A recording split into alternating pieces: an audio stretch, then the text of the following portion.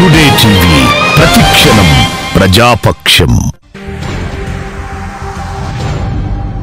welcome to today TV today breaking news Mahabubabad జిల్లా మహబూబాబాద్ జిల్లా డోర్నకల్ సోమవారం ఉదయం తెల్లవారుజామున నాలుగు గంటలకు డోర్నకల్ ప్రధాన కేంద్రంలోని నూతన కూరగాయల మార్కెట్ నిర్మాణం కోసం పోలీసుల సమక్షంలో ఎస్సీ కమ్యూనిటీ భవనం కూల్చివేత.